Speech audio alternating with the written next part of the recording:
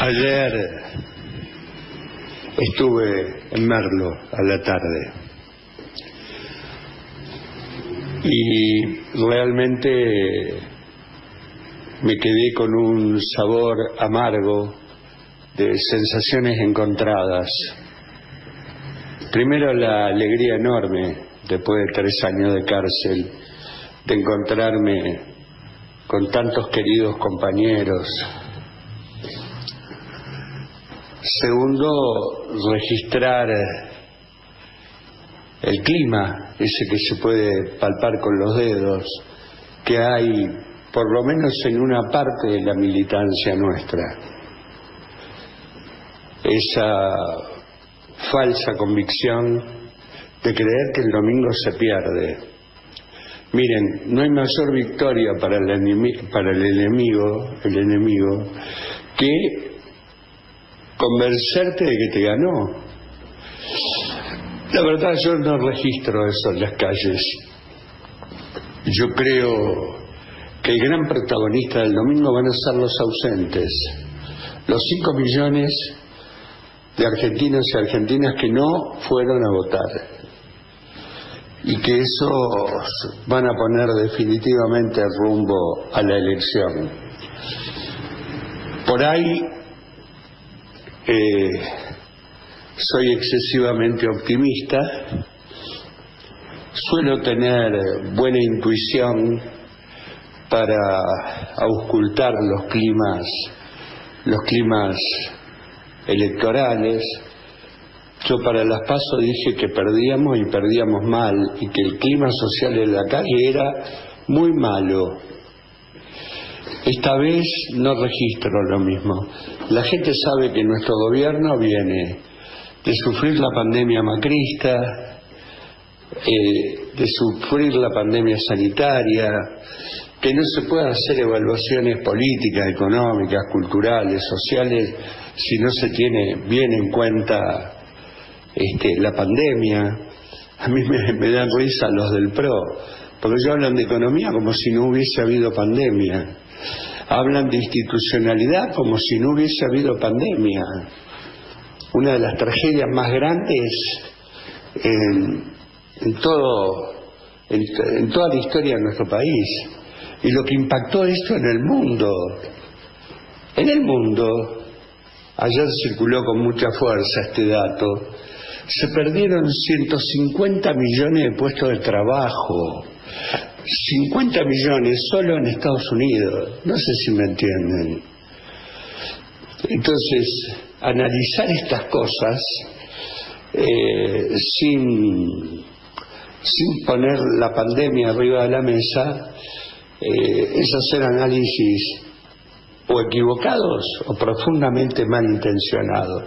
Pero volviendo a nuestro pueblo, nuestro pueblo sabe que los nuestros quizás no sean los mejores, quizás podríamos haber armado otros equipos con otros técnicos, que hay muchas cosas que ajustar, que muchas cosas que cambiar.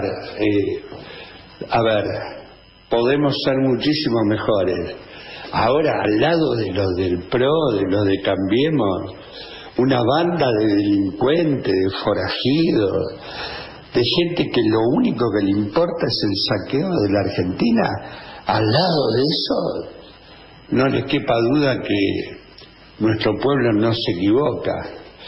A ver, eh, nuestro pueblo vivió a lo largo de su historia, sobre todo en los últimos 50 años, eh, cosas muy amargas. La dictadura de Videla, Marcela y Agosti, la dictadura genocida, asesina, al comienzo tuvo consenso y el golpe fue aplaudido por la sociedad, por los mismos sectores que, que hoy alientan al PRO Cambiemos. Y eso terminó en una tragedia. Y después sobrevino el menemismo, que, llegó con la promesa de, de salariazo y revolución productiva, y la verdad ni salariazo ni revolución productiva. Tuvimos el modelo neoliberal de Caballo. Y después vino la alianza de la Rúa que nos dio más caballo y más medicina neoliberal hasta que llegó este el kirchnerismo y, el pueblo en las calles hizo volar por los aires esa, esa experiencia. Entonces, cuidado, ¿no? El pueblo sabe que los nuestros no son los mejores, pero que los de Juntos por el Cambio son horribles. En particular he registrado, constatado que la gente le tiene pánico a Macri pánico a Macri, el mismo tipo que el día que perdió las elecciones presidenciales este, con Alberto Fernández, se levantó y nos metió una devaluación del 50%, le importó un carajo de nada. Entonces, tranquilos, yo les pido a todos que tengan confianza, que nadie compre la derrota antes de tiempo. Los medios hegemónicos ya han declarado que nosotros perdemos estrepitosamente el domingo. ¿A dónde? Fíjense lo que pasó con Roberto Savo, el kiosquero de Ramón Mejía.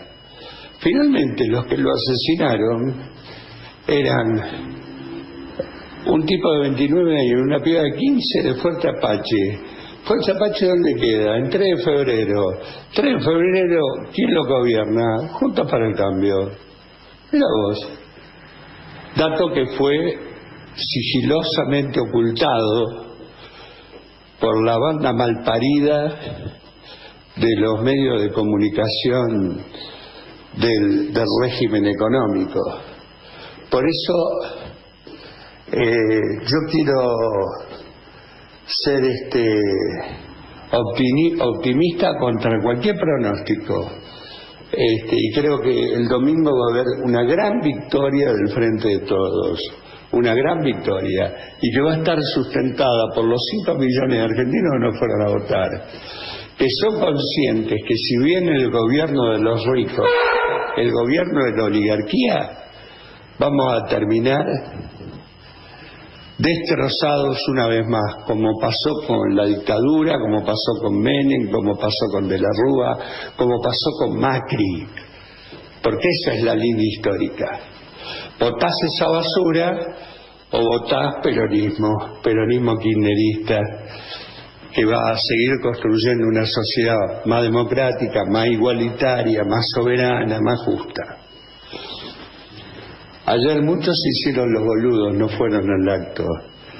Mucho dirigente prefirió mirar para otro lado.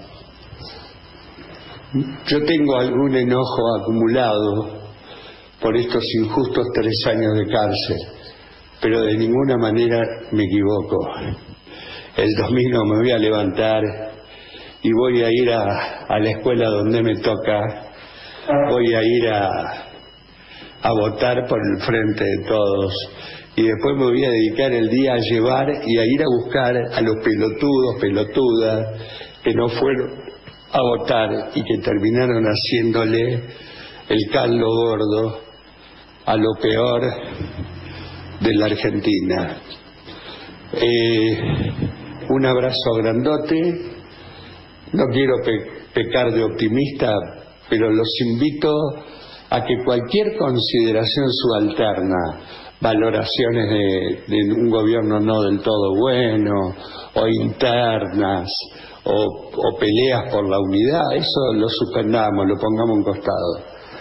Lo más importante, lo más importante, y lo dice un tipo que el frente de todo me ha hecho de todo, eh, de todo hasta tirar a la basura las actas del partido Miles, ¿no? Firmando al frente de todos. Me ha hecho de todo, pero les puedo garantizar que el único camino que, tiene nuestro pueblo es votar el frente de todos. Que reventemos las urnas con votos del frente de todos. Y creo que eso es posible. Y que el clima de derrota que vive la dirigencia del frente de todos no tiene nada que ver con el clima que vive nuestro pueblo. Ya van a ver el domingo a la noche. Un abrazo grandote y voy a decir lo que digo siempre, ¿no? En, los discursos cuando lo, lo amerita. Y hoy creo que lo amerita.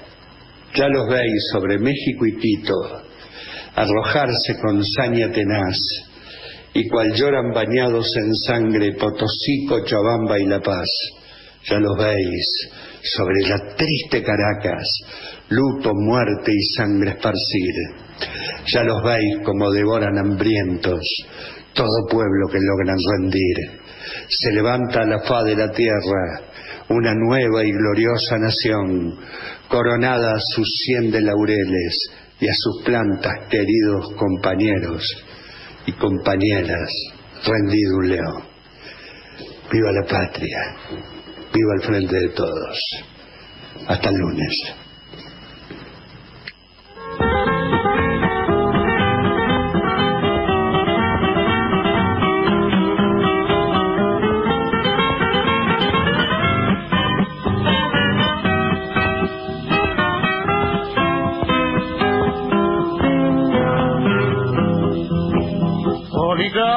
Caballero prototipo de negrero, que explotaste al obrero sin tenerle compasión. Ha sonado la campana anunciando el nuevo día para el pueblo que veía en Perón su salvación. Oligarca, caballero que fuma cigarro a mano que vivís en la abundancia porque sos explotador, que jamás supo tu mano ni de pico ni de pala, para vos en perañas malas, solo quedó la prisión.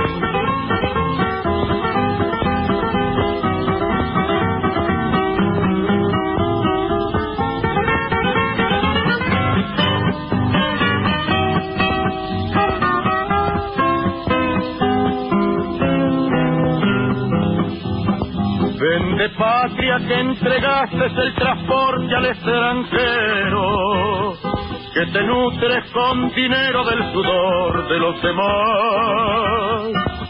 Democrático exilado sos allá en Montevideo, pero aquí te llaman reo por el código penal. La Argentina tiene un líder, un patriota esclarecido, que gobierna para el pueblo y se llama Juan Perón, que por ser hombre derecho con los hechos ha respondido al llamado de la patria para el bien de la nación.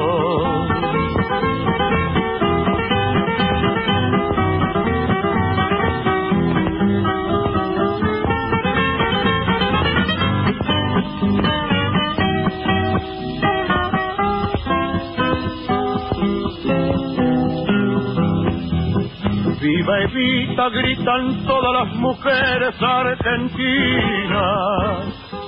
Viva Evita eternamente nuestra jefa espiritual. Que en la obra más humana, más cristiana, más divina, ha luchado junto al líder por justicia y libertad menos pobre, menos rico, sin mezquinos sentimientos. Es el lema del gobierno hecho carne en la nación. De este pueblo de argentinos de elevados pensamientos que jugándose el destino da la vida por